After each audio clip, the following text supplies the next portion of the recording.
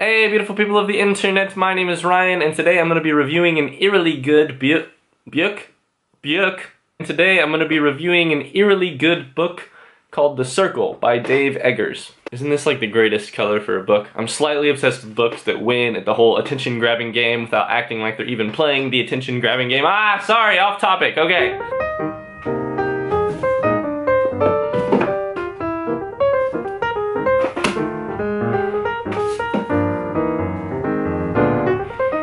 Just a real quick disclaimer, by the time this video goes up on the channel, I'll actually be somewhere in Arizona or California.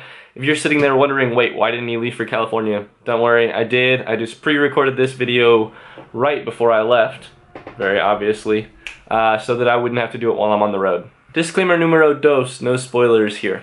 Okay, so The Circle by Dave Eggers. This is a late 2013 novel, a pretty quick read despite its length. It's like 490 pages, but it doesn't seem like it. Very accessible, very fun, and also very much aimed at that age group of people who grew up with the internet, knowing the social media game, and knowing the incredible tool that the internet is. That's important, you'll see why. Okay, so let's talk very generally about the plot of The Circle before getting on to Dave Eggers himself, and then, of course, whether or not you should read the book. The Circle is about Mae Holland. She is a recent college graduate who just landed her dream job at a young tech company called the Circle, and that is their logo. The book then follows two parallel plot lines, Mae's ascension through company ranks and the Circle's ascension as a company. Both of them reach pretty lofty heights. May becomes an international superstar, and the Circle becomes the most indispensable, ever-present company in the history of humans. Don't worry, that's not a spoiler. So I said earlier that this book was accessible, and I meant that about the writing level, but also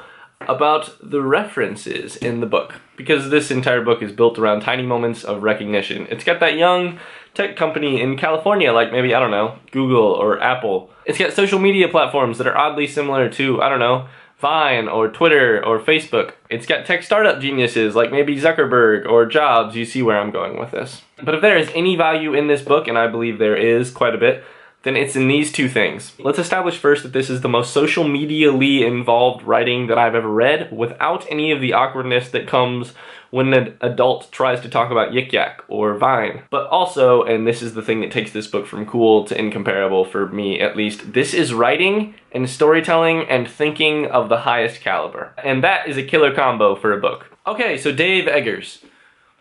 Basically, I just want to be Dave Eggers. Can we leave it at that? Good? Okay. Eggers is a decently big deal in the literary world. He founded McSweeney's, a publishing house that I'm a pretty big fan of, and he's had some books that have done pretty well. Books that I now feel as if I need to read. Mostly though, Eggers is just cool. I mean, he seems like one of those adults who knows what it is like to be perpetually 25 and on the forefront of pop culture. And, you know, not old. Also, P.S. I just discovered that The Circle is going to be a movie coming out in 2016. Oh! Emma Watson is going to be in The Circle. And filming starts in California in September. Last time I checked, it's September and I'm going to California. In case you have not yet followed these details to their logical conclusion, I think Emma Watson and I are dating. Alrighty, moving on to the writing, the stylistic things. Now, to be frank here, hi Frank, my name's Ryan. Shut up Ryan. Now to be frank here, you're not going to recommend this novel because of beautiful sentences. It's got some, sure, but a lot of novels have beautiful sentences.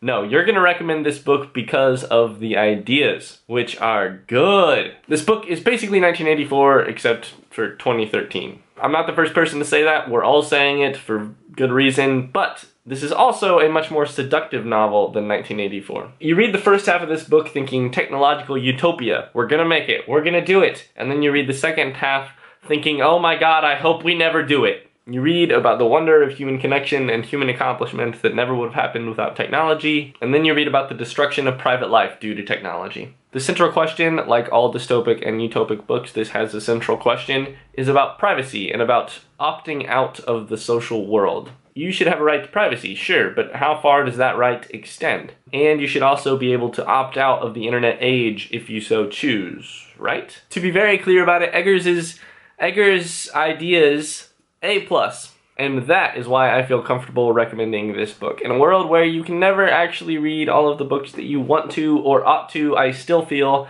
that this is a book worth reading. It's got unique things to say about the human condition specifically in the last 15 years, and it says them decently well. Read this book especially if you're under 30. Okay, one very last comment about the book to the readers who are saying, this is so unrealistic. Humans would never let the internet and social media and a company get that out of control. I say, of course it's unrealistic. This would not make a very good book if it was more mild. No, he, like a good author, is making you feel a little bit of a chill because he's writing down here on the other end of the spectrum at absolute zero. That's just good fiction writing.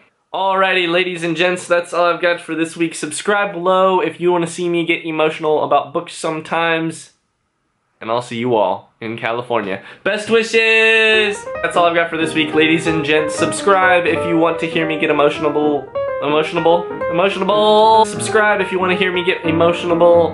Emotional. Ugh. Ah. See me get emotional. Emotional. This happens every single time I read a book. I get like three seconds of warm fulfillment and then I have to go add four books to my list of books that I must read before I die. When does it ever end? Ah!